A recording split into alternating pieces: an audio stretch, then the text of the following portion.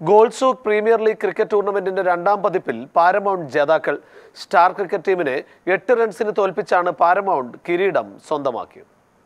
ഗെരോത്ത് new Indian model സ്കൂളിൽ നടന്ന ആവേശകരമായ മത്സരത്തിനൊടുവിലാണ് പാരാമൗണ്ട് ജേതാക്കളായത്. സ്റ്റാർ ക്രിക്കറ്റ് ടീമിനെ എട്ട് റൺസിന് പരാജയപ്പെടുത്തിയാണ് പാരാമൗണ്ട് കിരീടം സ്വന്തമാക്കിയത്. നിശ്ചിത ഓവറിൽ ഏഴ് വിക്കറ്റ് നഷ്ടത്തിൽ എഴുപത്തിനാല് റൺസ് പാരാമൗണ്ട് സ്വന്തമാക്കി. എന്നാൽ സ്റ്റാർ ടീമിന് അറുപത്തിയെട്ട് റൺസ് എടുക്കാനേ സാധിച്ചുള്ളൂ.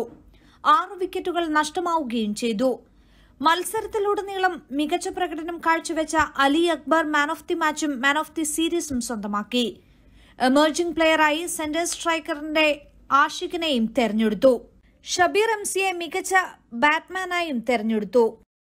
N T V sales manager Manu Mahesh Fasal Moosa സാമൂഹ്യ പ്രവർത്തകൻ റിയാസ് കൂത്തുപറമ്പ് അമരീഷ് മഷൂഖ് മുരിയാട്ട് എന്നിവർ മുഖ്യ അതിഥികളായിരുന്നു. N T V Sharjah. ജനങ്ങൾക്കൊപ്പം വാർത്തയ്ക്കൊപ്പം നന്മയോടൊപ്പം.